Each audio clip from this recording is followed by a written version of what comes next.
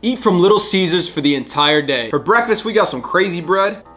That's crazy fucking good. For lunch, we got their chicken wings. I don't even know they had chicken wings. Some good ass wings, goddamn. For dinner, we got beef and cheese pizza. Oh yeah. Oh my god, this is amazing. For dessert, we got an M&M brownie.